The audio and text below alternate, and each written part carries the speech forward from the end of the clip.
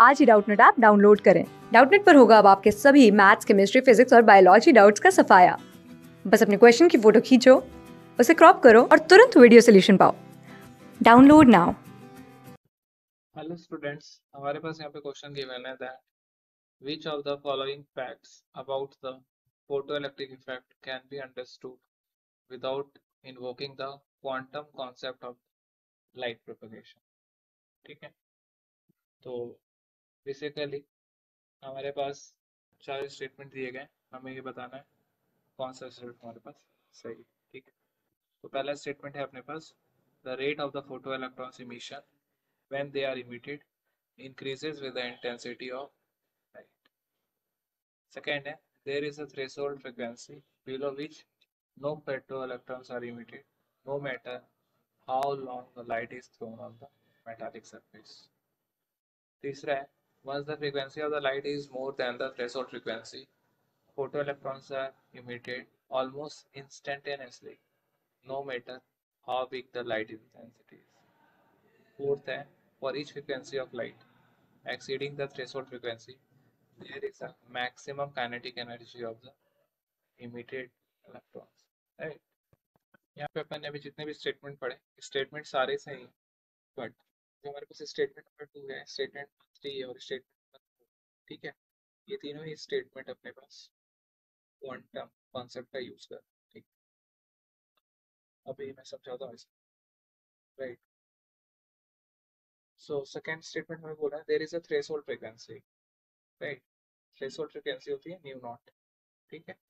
इससे अगर आपकी फ्रिक्वेंसी कम रहती है so no emission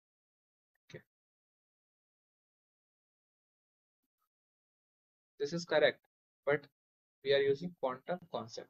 And question is asking that without using the quantum concept, right? So coming to the third, once the frequency of the light is more than the threshold frequency, yes, अगर nu की value अगर nu naught से ज़्यादा हो जाती है then photo electrons are emitted almost instantaneous yes जैसे हमारे पास लाइट पड़ रहा होता है मेटल सरफेस के ऊपर, वैसे हमारे पास फ़ोटो इलेक्ट्रॉन्स इजेक्ट हो जाते हैं, ठीक है?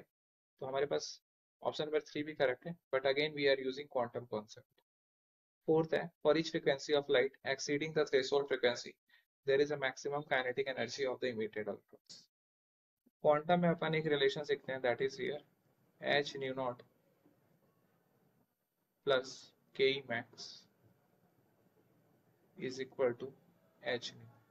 nu is the frequency of light that we are giving h nu naught is the phi that is the work function of the matter and k max so this is also correct but again we are using quantum concept now coming to the first one here the rate of photoelectrons emission when they are emitted increases with the intensity of light use ठीक है अब ये अपन के पास common sense वाली बात है या normal physics की बात है अगर अपन लाइट की इंटेंसिटी बढ़ा रहे हैं तो ऑब्वियस सी बात है कि जो रेट होगा फ़ोटो इलेक्ट्रॉन्स के निकलने का, वो इंक्रीज हो जाएगा, ठीक है?